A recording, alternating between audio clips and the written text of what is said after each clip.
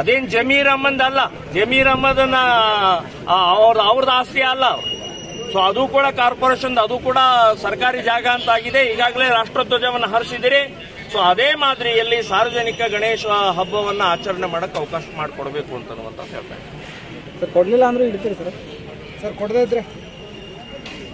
ಕೊಡದೇ ಇದ್ರೆ ನಾವು ಈ ಸಲ ಗಣಪತಿಯನ್ನು ತಗೊಂಡು ಹೋಗಿ ಅಲ್ಲಿ ಪ್ರತಿಷ್ಠಾಪನೆ ಮಾಡೋ ಯಾವ ಶಕ್ತಿ ತಾಕತ್ತಿದ್ದರೆ ತಡೀರಿ ನೋಡೋಣ.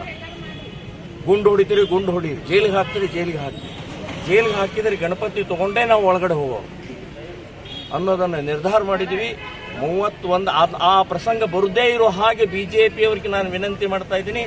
ಆ ಪ್ರಸಂಗಗಳು ಬರಬಾರ್ದು. ಆ ಪ್ರಸಂಗ ಬಂತಂದ್ರೆ ನೀವು ನೀವು ಬಿಜೆಪಿ ಅವರಿಗೆ ಗಣೇಶನ ಶಾಪ ತಟ್ಟತ್ತೆ ನಿರ್ನಾಮ ಹೋಗ್ತೀರಿ ಅಂತ ಹೇಳ್ತೀನಿ ಸರ್, ಗಲಾಟೆ ಆಗ್ತದೆ ಅಂತ ಹೇಳ್ತಾರೆ ಸರ್. ಗಲಾಟೆ ಮಾಡೋರು ಯಾರು ಸರ್? ಕೃಷ್ಣೋತ್ಸವ ಗಲಾಟೆ ಯಾರು ಮಾಡ್ತಾರೆ, ಯಾಕೆ ಮಾಡ್ತಾರೆ? ಒದ್ದು ಒಳಗೆ ಹಾಕ್ರಿ. ಯಾರು ಮಾಡ್ತಾರ ಅವ್ರು? ಯಾವ ಮಾಡ್ತಾರ ಬರ್ರಿ ನೋಡೋಣ. ಸೊ ಗಲಾಟೆ ಆಗುದಿಲ್ಲ. ಹಂಡ್ರೆಡ್ ಪರ್ಸೆಂಟ್ ಗಲಾಟೆ ಆಗುದಿಲ್ಲ. ಅತ್ಯಂತ ಶಾಂತ ರೀತಿಯಿಂದ, ಬಹಳ ಒಳ್ಳೆ ವಿಜೃಂಭಣೆಯಿಂದ ಆಗತ್ತೆ. ಎಲ್ಲರೂ ಕೂಡ ಕೈ ಜೋಡಿಸಬೇಕು ಅಂತನ್ನುವಂಥದ್ದು ನಾನು ವಿನಂತಿಯನ್ನು ಮಾಡ್ತೇನೆ. ಕಳೆದ ಆರು ವರ್ಷದಿಂದ ಮಾಡ್ತಾ ಇದೀವಿ. ಈ ವರ್ಷ ಕೂಡಿಸಬಾರ್ದು ಅಂತ ಎಲ್ಲಿದೆ? ಇಷ್ಟು ವರ್ಷ ಇಲ್ಲಪ್ಪ. ಹೌದು, ಈ ವರ್ಷ ಕೂಡಬಾರ್ದು, ಕೂಡಿಸಬಾರ್ದು ಅಂತ ಇದೆಯಾ? ಕೂಡಿಸ್ತೇವಪ್ಪ ನಾವು.